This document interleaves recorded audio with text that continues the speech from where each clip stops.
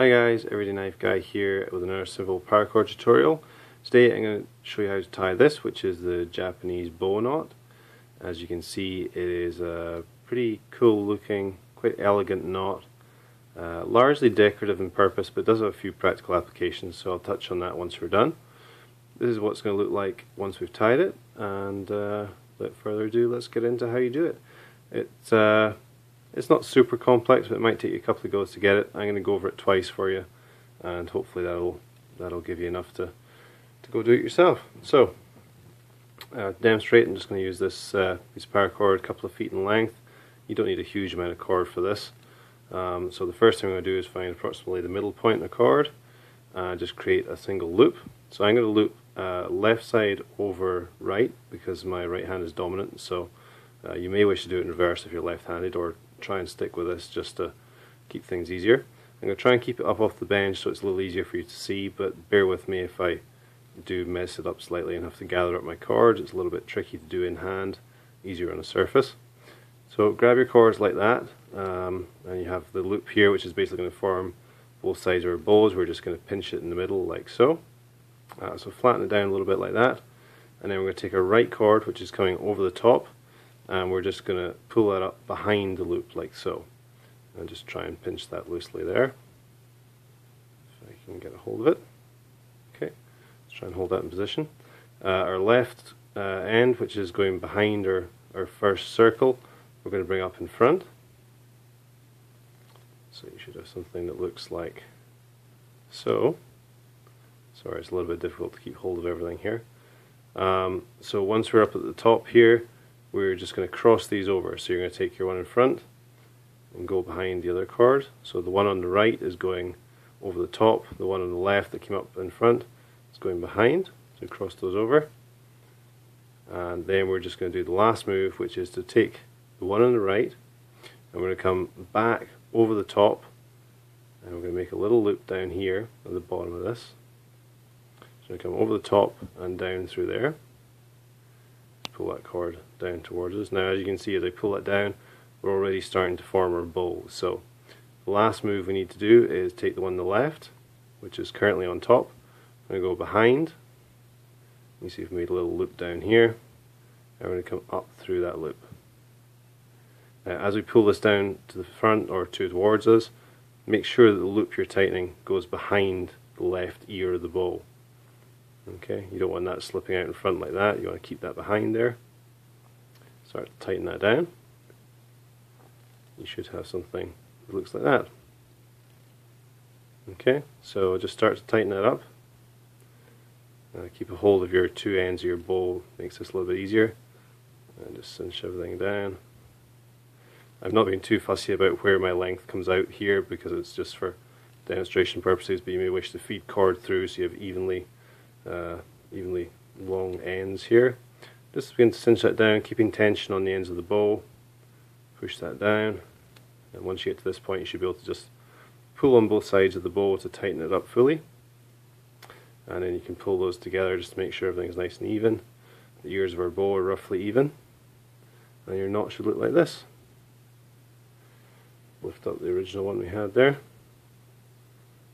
You can see and the reverse should look like that. Okay, so I'm just going to do that one more time. Let's put those down there. Grab ourselves another piece of cord. Okay, so we're going to loop, uh, make a loop roughly in the middle of our cord, and as we make the loop, we want our side coming from the left to be on top of the one coming from the right. See our overlap there. Pinch that roughly in the middle. We're going to take a right hand cord and sorry my camera's having a bit of trouble focusing. Let me move these over here and hopefully it'll pick up what I'm doing. There we go. And uh, so we're going to take our right hand cord. Oops. Try and keep this in focus for you. Take a right hand cord and come up behind like so. And we're going to take our left hand working end and come up in front. So you should have something that looks something like that. I can get a hold of my loop here. Oops. This one's even messier than the last one. Let me try and hang on to it this way for you. Okay, Okay, should look like that. So you have a cross at the bottom there, you have the two ears of your bow already forming. So once we're up at the top here, we're just going to cross our working ends. So the one that's currently behind comes in front of the other one. Create a cross there. And the last two moves we need to do, let's make ourselves a little loop down here at the bottom. And we're going to bring our piece that's behind over in front on the right and down through that loop. Okay, feed that through, pull it towards you, and again make sure this loop that you're tightening in front doesn't go behind that ear of the bow. Pull that down, you start to see the bow forming. Should look like that. Make ourselves a little bit of slack down here. And this left piece that's currently in front, we're going to go behind the whole knot and come up through there.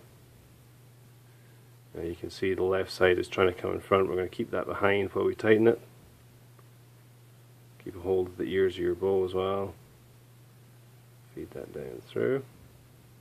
Things should look fairly symmetrical at this point. It's a little harder with this green cord because it's a little more uh, springy than the other two that I tied with. But at this point your knot should look like so. You can even out, as you can see the top cord there, the top part of your bow is fully free sliding. So just try and keep that nice and even. Makes it a little easier to see what's going on. So the front of your knot should look like that. And the back should look like that. Feel free to pause this up and make sure everything's where it is. Or where it should be rather. And once you have that, just keep hold of both ears of your bow. And you can just basically push up on the middle, pulling out in these cords. Push that in from the sides until it all cinches up. Once you get it fairly tight, you can adjust your bow again and then give it a final tighten up. Okay, so there we have it. And I'll show you that alongside one of these ones. This one's a little, just this cord is a little uh, lower quality, I think, the green one. It's a little harder to get things cinched up nicely, but that is how it should look when it's done. So yeah, I mean, largely decorative knot. There's, you know, you could definitely use this in bracelet making for a clasp or um, even for some sort of lanyard knot. It just depends what you want to do. There's a couple of practical applications. If you made that and you had a, uh, you wanted to make a tether onto a post or a ring or something, or a carabiner, just push the two loops together.